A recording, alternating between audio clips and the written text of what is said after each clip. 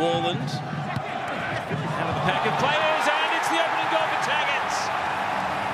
New owners, same Adam Taggart, still scoring goals, and Perth Glory take the lead. Well, cometh the hour, cometh the man. Who else but Captain Marvellous in a Perth Glory shirt? See all the movement around the penalty spot. Lots of grabbing and grappling, and almost the equaliser for Mileusnic, who puts the header over the bar. Burke Gilroy swings in the cross, teasing for Mileusnic.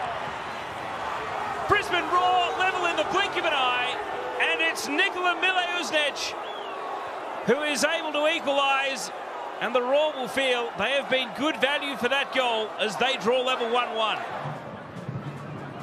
That is clever. Look away pass, finds Burke Gilroy, now Henry Hore. It sideways, Yellow-Edge back to Henry Hore. Once, twice, and the volley. Waddingham denied initially, but then scores on the follow-up. And the youngster, who has been a peripheral character in the game until this point, launches himself and the Roar into the back of the net for a 2-1 lead.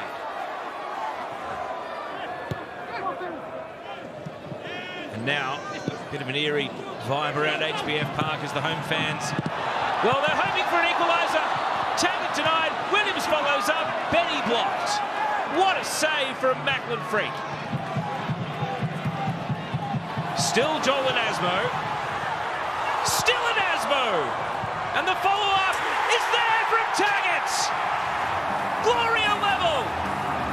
And it's Adam Taggart who draws it to 2-2 after a mercurial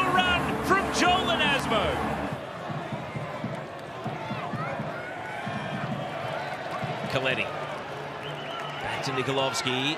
Dangerous pass to the top of the area. It spills for Colakovski. It had to be him. Stefan Colakovski puts the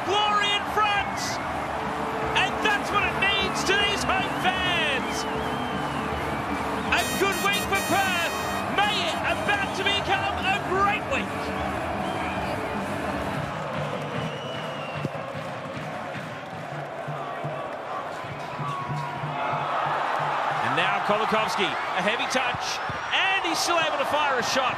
Managed to get it under the lunging Aldred, and a good save from Macklin Freke.